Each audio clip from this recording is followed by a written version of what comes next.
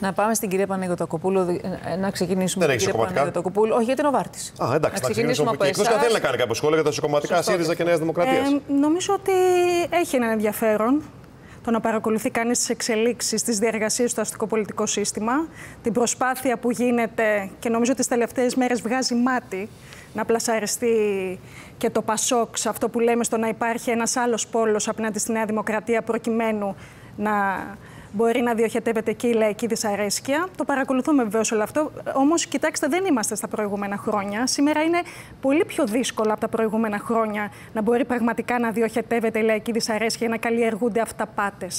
Και αν θέλετε, ε, επειδή ο κύριος Μητσοτάκης στη Βουλή με έναν ε, κατά τη γνώμη μας απαράδεκτο τρόπο ε, παρέμβηκε στα εσωτερικά του ΣΥΡΙΖΑ και θεωρούμε ότι κανένας δεν έχει τέτοιο δικαίωμα, ούτε ο κύριος Μητσοτάκης ούτε κανένας άλλος. Ακόμα, ακόμα, ακόμα και όταν μπορεί να του δίνεται αυτή, αυτό το δικαίωμα σε εισαγωγικά με την ε, κατάσταση που έχει περιέλθει ο ΣΥΡΙΖΑ, με τον πολιτικό, ιδεολογικό και οργανωτικό του εκφυλισμό, ε, νομίζουμε ότι ακόμα και αν επέλεξε αντίπαλος σε αυτή τη συζήτηση το ΠΑΣΟΚ, ξέρετε υπάρχει πραγματικός αντίπαλος. Φτάνει να σας πω ότι η εβδομάδα που τελειώνει, ήταν μια εβδομάδα απεργιακή. Ήταν στο ναι. δρόμο οι δάσκαλοι που μορφώνουν τα παιδιά μας, ήταν στο δρόμο και απεργούσαν οι εργάτες στην απηγοεπισκευαστική ζώνη και οι λιμενεργάτες που διεκδικούν το αυτονόητο, να μπορούν να επιστρέφουν πίσω σόι στα σπίτια τους.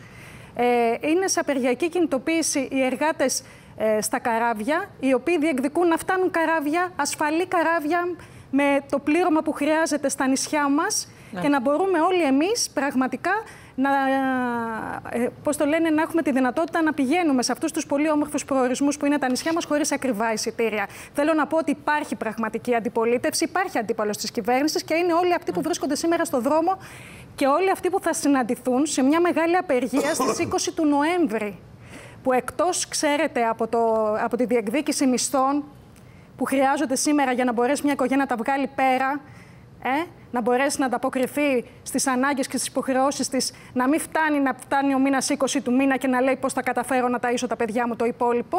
Λοιπόν, υπάρχει και μία άλλη πλευρά που πρέπει να βάλουμε στη συζήτηση, την ε, απεμπλοκή της χώρας μας από τους πολέμους που είναι σε εξέλιξη. Γιατί αυτό που λέει ο κ. Σιμόπουλος ε, γεωστρατηγική αναβάθμιση είναι αναβάθμιση αυτό που διεκδικεί η κυβέρνηση για λογαριασμό της αστικής τάξης, που παίζει ρόλο και διεκδικεί μερίδια από μια μοιρασιά, βάζοντας το λαό μας σε νέες, πιο μεγάλες περιφέρειες. Η αριστερά δεν έχει λύσεις. Να, να... Έχει αποτύχει παντού. Ναι, Καλά, ναι. κύριε Σιμόπουλε, η αποτυχία σα φαίνεται καθημερινά στην καθημερινότητα του λαού ναι, μας. Πριν πάμε στην Οβάτη, θέσατε πολλά ζητήματα. Εμείς θέλουμε να βάλουμε στη συζήτηση μία πλευρά που τη Νέα Δημοκρατία ούτε ο ΣΥΡΙΖΑ αγγίζει.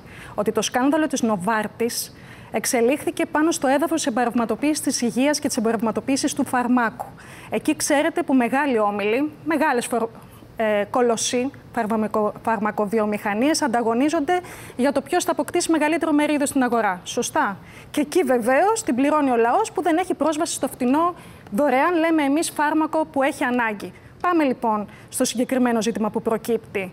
Ε, ξέρετε, το ΚΚΕ από την πρώτη στιγμή καταψήφισε, τάχθηκε κατά αυτού του θεσμού των ανώνυμων ε, μαρτύρων. Γιατί είναι άλλο πράγμα η προστασία, που υπάρχει βεβαίως δυνατότητα και οι τρόποι, ένα κράτος, βεβαίως, το δικό σας κράτος, να εξασφαλίζει πώς μπορεί να προστατεύονται αυτοί οι άνθρωποι και είναι άλλο πράγμα η ανωνυμία και οι ανώνυμες καταγγελίες, που ο καθένας αντιλαμβάνεται σήμερα τι επικίνδυνους δρόμους μπορεί να ανοίξει. Και εδώ, αν θέλετε, υπάρχει και μια μεγάλη υποκρισία. υποκρισία ότι αυτό το θεσμό τον είχε καταψηφίσει ο ΣΥΡΙΖΑ και τον είχε υπερψηφίσει η Νέα Δημοκρατία και το ΠΑΣΟΚ. Καταλαβαίνετε δηλαδή πόσο βολικό είναι όταν τους βολεύει να αλλάζουν ρόλους. Δείτε λοιπόν σήμερα και τι συμπέρασμα μπορεί να βγάλει κανείς. με το καθεστώς του προστατευόμενου μάρτυρα. Βεβαίως υπάρχουν τρόποι οι ναι. άνθρωποι αυτοί να προστατεύονται. Είναι άλλο πράγμα, ξαναλέμε, η ανωνυμία.